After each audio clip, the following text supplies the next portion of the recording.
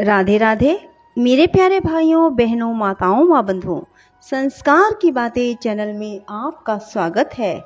बंधुओं, आज मैं अपनी वीडियो में आपको बताने जा रही हूँ, इंदिरा एकादशी कब है? बंधुओं, इंदिरा एकादशी जो कि आश्विन मास के श्राद्ध पक्ष में आती है, कब है? बंधुओं, यदि आपने YouTube चैनल संस्कार की बातें। अब तक सब्सक्राइब नहीं किया तो ज़रूर करें और बेल आइकन दबाना ना भूलें, ताकि आपको हमारी आने वाली सभी वीडियोस की जानकारी सबसे पहले हो सके। बंधुओं वीडियो को पूरी सुनने के बाद कमेंट बॉक्स में राधे राधे अवश्य लिखें। बंधुओं श्राद्ध पक्ष में आने वाली इंदिरा एकादशी का पुण्य।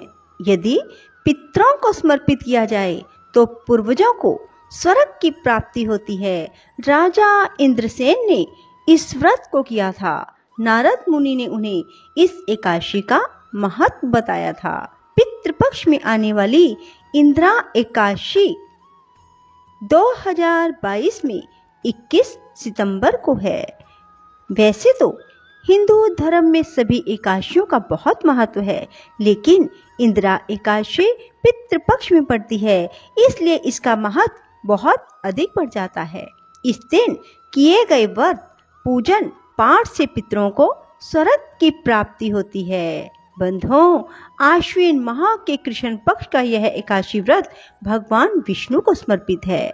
मनुष्य इस दिन एकादशी का व्रत रखते हुए श्री हरि और माँ लक्ष्मी की पूजा अर्चना करते हैं। इंदिरा एकादशी व्रत रखने से पितरों को यमलोक से मुक्ति मिलती है। श्राद्ध पक्ष में आने वाली इंदिरा एकादशी का पुण्य यदि पितरों को समर्पित किया जाए तो पूर्वजों को अर्थात पितरों को स्वर्ग की प्राप्ति होती है। और पितृ आपको आशीर्वाद देते हैं और आपके सभी काम बनते चले जाते हैं। यदि किसी के विवाह में देरी हो रही हो और वह इंदिरा एकादशी का व्रत कर ले तो उनके पित तृप्त होंगे और जल्द ही तुम्हारे शादी के योग बनेंगे। और यदि किसी को नौकरी नहीं मिल पा रही तो वह भी इंदिरा एकादशी व्रत करे और अपने पितरों को समर्पित कर दे। ऐसा करने से नौकरी में आने वाली बाधा दूर होगी। इस प्रकार यदि किसी का भी कोई काम नहीं बन पा रहा है, या फिर व्यापार में घाटा हो रहा है, या रुपये आते तो हैं, परंतु बरकत नहीं होती तो वे सभी इंदिरा एकादशी व्रत करें और व्रत का फल अपने पूर्वजों को दें। देखना कैसे आपके घर में बरकत शुरू हो जाएगी और आपके व्यापार बढ़ने लगेंगे, उन्नति करने लगेंगे। राजा इंद्रसेन ने इस व्रत को किया। नारद मुनि ने उन्हें इस एकादशी का महत्व बताया था। बंधुओं, हिंदू पंचांग के अनुसार एकादशी तिथि 20 सितंबर 2022 को रात्रि नौ बजकर छब्बीस मिनट से शुरू होकर 21 सितंबर को रात ग्यारह बजकर चौतीस मिनट तक रहेगी। उद्यात तिथि के कारण इंदिरा एकादशी व्रत 21 सितंबर को रखा जाएगा। व्रत का पालन 22 सितंबर को होगा। एक कथा के अनुसार सत्युग में महिष्मती नामक राज्य में राजा इंद्रसेन का राय था। भगवान विष्णु का वह बहुत अधिक उपासक था। नारद से राजा इंद्रसेन को उनके पिता का संदेश मिला। कि पूर्व जन्म में किसी गलती के कारण भी यमलोक में है। ऐसे में यमलोक से मुक्ति के लिए उनके बेटे को इंदिरा एकादशी का व्रत रखना होगा। तब इंद्रसेन ने नारद जी से एकादशी व्रत के बारे में पूछा।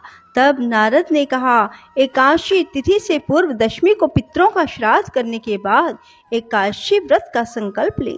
नारद मुनि ने कहा, इस व्रत के रखने से तुम्हारे पिता को मोक्ष की प्राप्ति होगी।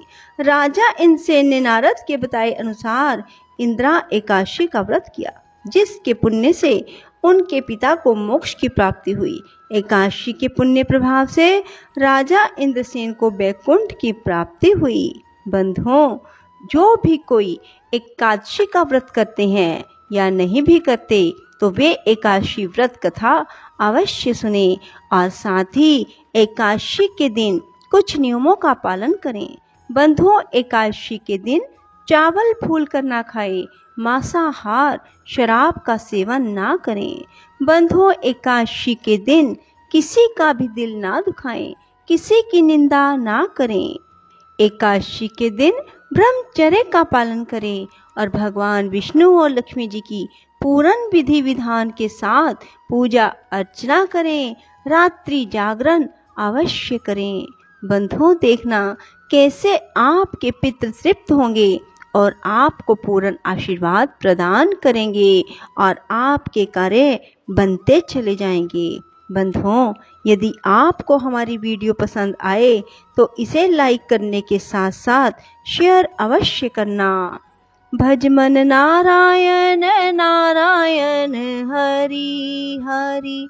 श्रीमन नारायण नारायण, हरि हरि।